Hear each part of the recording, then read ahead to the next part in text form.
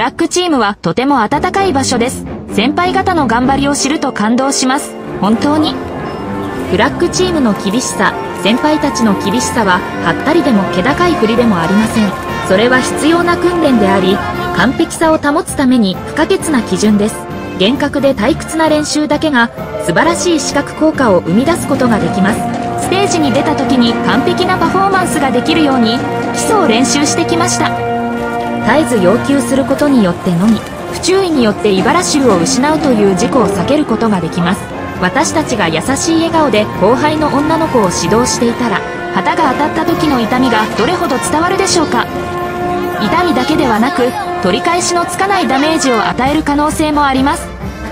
簡単な説明フラッグチーム基本的には大まかな楽しみ方の方向性が分かれています。旗作りのスキルや体の動きの表現などがあります。用語集路上歩行パレード小格好終わりコロンパフォーマンス中に歩きながらパフォーマンスする必要があることがよくあります。ウォーキングダイアグラム定点パフォーマンス中にフォーメーションが変化しパフォーマンス中に観客に様々な視覚効果を与えます。流れ一般的に絵を描くときは絵全体を硬くしたくないので流れるような動きでつなぎその位置に走るまでの動きも柔らかさ躍動感躍動感に満ちています。コンテンツフラッグ軍団に入りたい理由パフォーマーがフラッグを華麗に踊る姿を見るととても憧れるし完璧なパフォーマンスを見て自分もフラッグ軍団に入って自分もその一員になりたいと思う。毎日の練習1動作を行う前に全身の関節筋を緩める準備運動を行う必要がありますが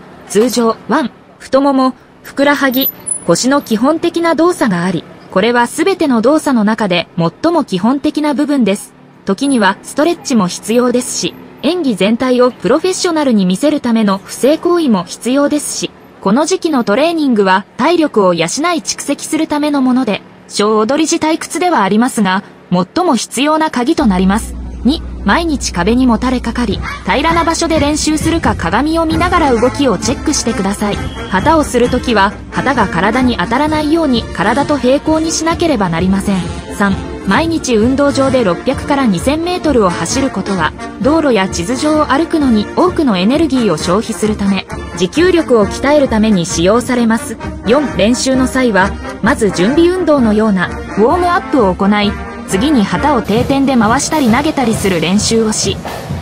最後に旗を臨機応変に変える練習をする必要があり一朝一夕にできるものではありません。進歩するので練習を止めることはできません。5練習と音楽を組み合わせる場合にはコーチが通常指導する感情を表現しその演奏によって伝えられるメッセージが観客に理解されるようにする必要があります。フラグのカテゴリー下級生が練習するときは先輩お姉さんから受け継いだ170センチの軽くて小さい旗を使用しますが、半年ほど経つと長くて重い銀色のポールに交換します。練習用の180センチ旗。本番では180センチの旗や100センチの短いポールがあり、時折、風が強い時は旗が飛ばされないように重りをつけて重さを増やします。パフォーマンスステージ。公演は屋内と屋外があり、大規模なフォーメーションチェンジは屋外で行うのが一般的で、屋内では小さな動きのみですが、照明効果があったり、音楽のニーズに合わせて服装を変えたりすることもあります。